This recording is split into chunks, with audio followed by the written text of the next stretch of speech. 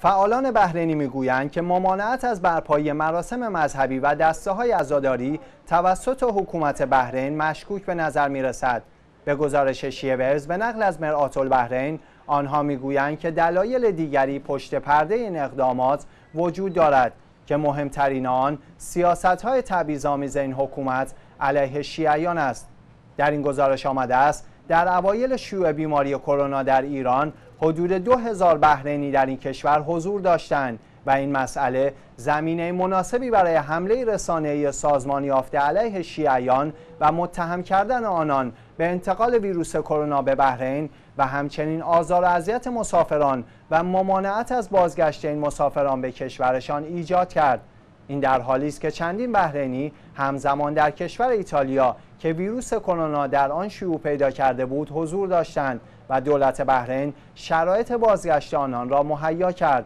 و آنها را به کشور بازگردان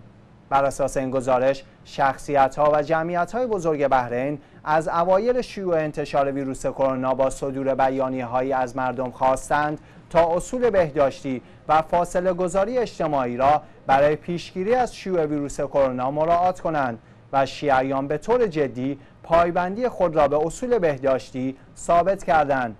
با شروع ماه مبارک رمضان تصمیم بر این شد که تلاوت قرآن و عدیه از طریق بلندگوها توسط هیئت امنای مسجد پخش شود و این سازمان اوقاف اما سازمان اوقاف در اقدامی تبعیض‌آمیز هیئت امنای مساجد را به طور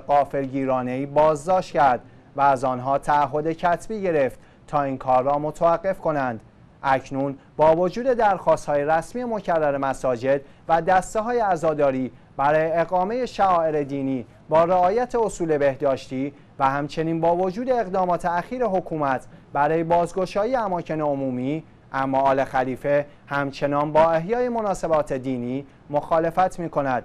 به گفته فعالان بحرینی این امر بیانگر انگیزه های تبعیض‌آمیز مذهبی این حکومت است. چرا که تا ماه محرم و روز آشورا کمتر از یک ماه باقی مانده و این حکومت به خوبی از ارزش والای این روزها نزد شیعیان با خبر است.